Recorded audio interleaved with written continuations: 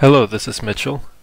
In our previous video I showed you how to connect to and program a Campbell Scientific data logger.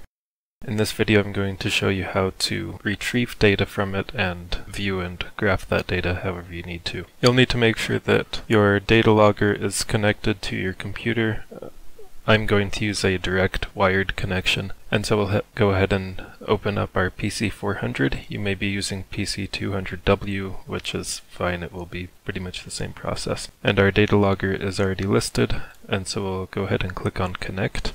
If your data logger is not listed or you are having trouble connecting to it, you can see how to do that in our previous video. I should also note that with this button you can retrieve the program that is currently running on your data logger. So if we click on this monitor data tab, you can see the data that is being output from the data logger in real time, or most recently. You don't have to use this tool, but it is there if you need it.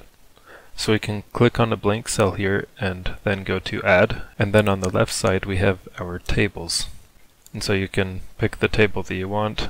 Uh, I have the sensors table that we set up which had our two sensors so we can click on that and then hit paste on the bottom and it will put that data into our live monitor. This may or may not be useful for you but it's there if you need it. Where we really want to get to is the collect data tab.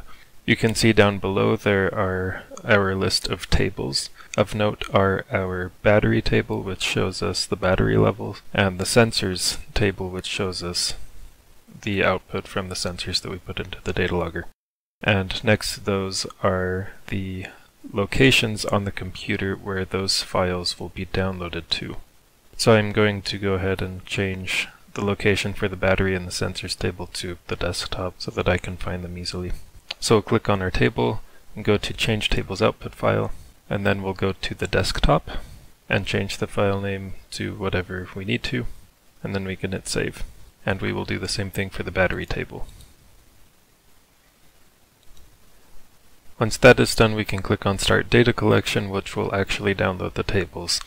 So they're already downloaded, if we can hit OK here if we want to, or we can click on view file to actually see the data that we retrieved. So we will select our sensors table and then click on view file and it will pop up in this other window. And here you can see the table that we saved and we can click on these table headings and then click on the graph button up above to uh, see that data. And on the left side we can check and uncheck whatever measurements we are interested in. And I'm not going to go into depth here. You can click around and see how it works and get the data that you need, but you should know where it is now. Once you're all done, you can disconnect from your data logger. And the program is still running. This does not interrupt the data collection being done by the data logger, so you can do this out in the field without causing any problem. And I hope this has been helpful for you. Please feel free to contact us or visit our website at inmtn.com if you have any questions. Thanks.